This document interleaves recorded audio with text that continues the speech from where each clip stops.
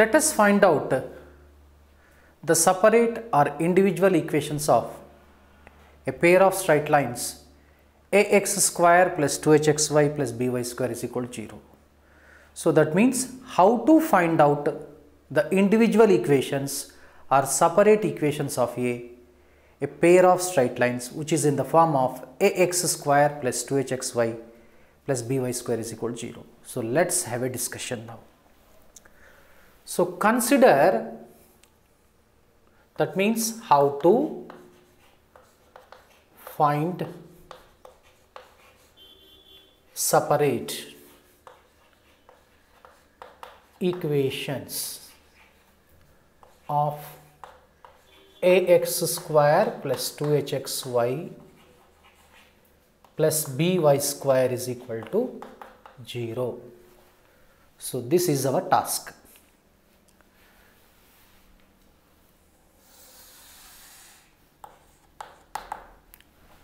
So, now consider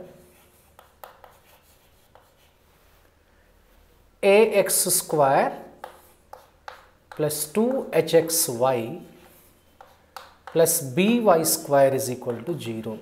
Say this is 1. First let us suppose a does not equal to 0 or here b may be 0 h may be 0 but here let us consider a does not equal to 0 first.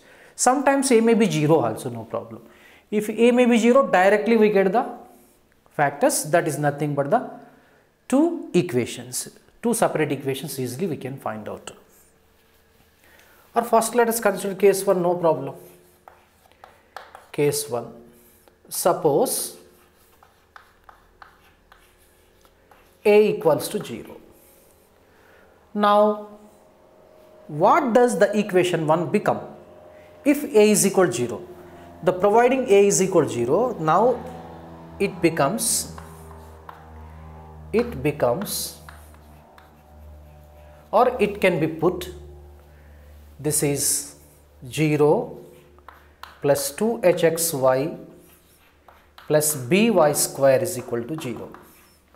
The next step follows we have 2hxy plus by square is equal to 0. Now the left hand side easily we can factorize it. So it can be factorized very simple manner. So here we can take the y common. So having been y taken common out we have 2hx plus by is equal to 0. So now we get a two equations. The one is y is equal to 0 and other one is 2hx plus by is equal to 0. These two represents straight lines. y is equal to 0 is the equation of the x-axis itself only. So this is a this is a equation of a straight line which also passes through the origin. Both passes through the origin itself only. So this is a equals to 0. Suppose if you consider case 2 suppose a does not equal to 0 then what shall we do? So now even though a does not equal to 0 we are able to find out the separate equations or individual equations. So that means now again consider this one. Consider ax square plus 2hxy plus by square is equal to 0. As a does not equal to 0, we can multiply both sides with a, no problem. Because a is not 0, a may be any arbitrary value. So if you multiply, no, actually the identity will not change. So that means multiply both sides with a. So multiply multiply both sides with a. So you may get one doubt. Why should we take a does not equal to 0? Can we take b does not equal to 0? Yes, you can consider the b does not equal to 0 also. The even you get the separate equations or individual equations. But here I consider the here a does not equal to 0. So now having been multiplied a on both sides, So now we get like this a square x square correct plus 2ahxy plus aby square is equal to 0 okay now just if you observe the first two terms of this left hand side that is a square x square and plus 2ahxy so let us rearrange these two terms so as to apply the a plus b whole square formula. So that we have to keep in mind. So that means this we can write uh, ax whole square which will be in the form of a square plus 2h sorry 2ax a and b becomes here hy plus aby square equal to 0. So that means this is a square plus 2ab this is incomplete square so if you complete if you add in addition to these two we add the third term then it becomes perfect square. So in order to make it perfect square what is to be added? So just we have to think. Here see the term is b. The b square has to be added and subtracted. So that is hy whole square is to be added and get it to be subtracted. So now this we can write ax whole square plus 2 times ax and hy plus this is b, b term. So b square means hy whole square and plus aby square minus hy whole square equal to 0. So now check it. It makes no difference at all. Now if you consider these three terms, these three terms are in the form of a square plus 2ab plus b square. That can be put in the form of a plus b whole square. So we can write this is ax plus hy whole square nothing but this will be the expansion of this one okay plus here this can be written AB y square minus h square y square equal to 0. Now, to make it, to get it to be factorized here, so in the next step, so we need to apply the formula a square minus b square whose actually whose value equals to a plus b into a minus b. So as to put in that form, first we have to write this one as in the form of a square minus b square form. So from the both these two terms let us take minus o square sorry minus y square common. So we get now ax plus hy whole square okay. From these two let us take minus y square common.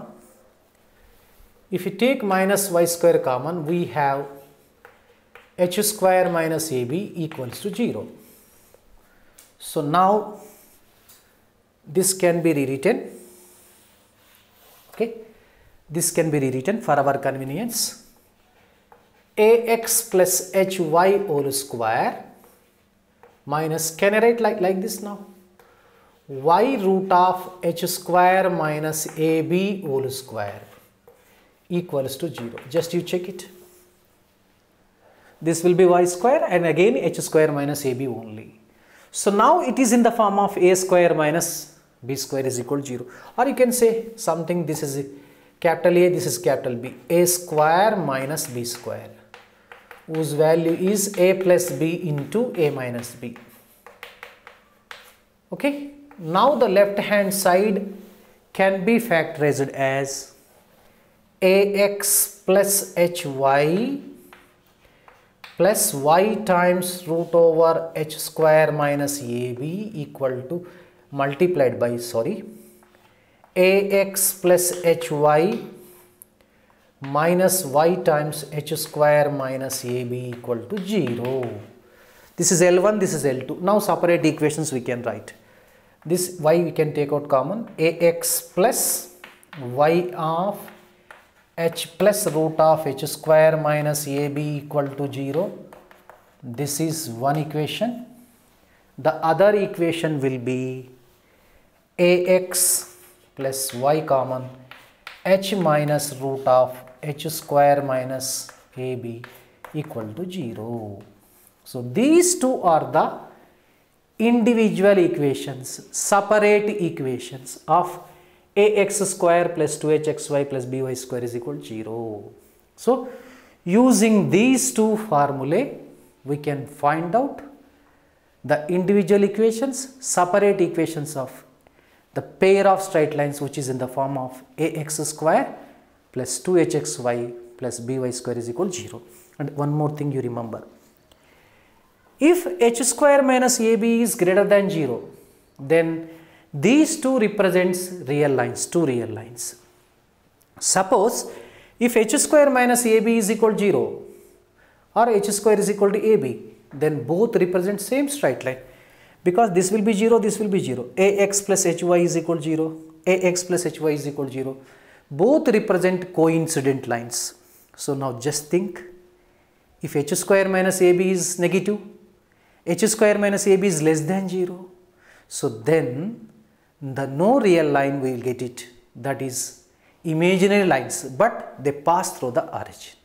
So these criteria we need to remember also that will be very very important for the competitive entrance examinations.